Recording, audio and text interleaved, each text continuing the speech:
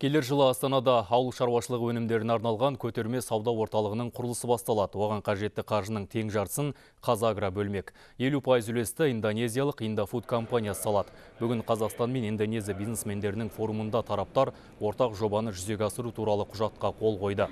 Келісім негізінде Қарағандыда ауыл шаруашылығы өнімдерін сақтауға арналған қойма салу да жоспарда бар.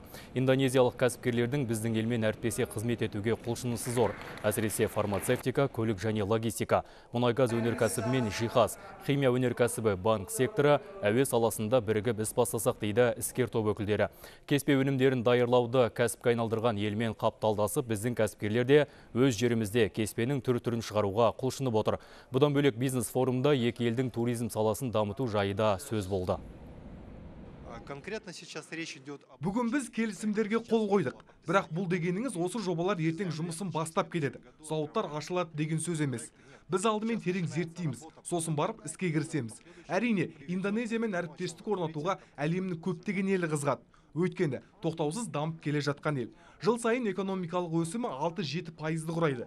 Қазір Индонезия жағы бізге инвестиция құюға құлшыныс танытып отыр. Біздің кәсіпкерлер де қарап қалмайды әрине.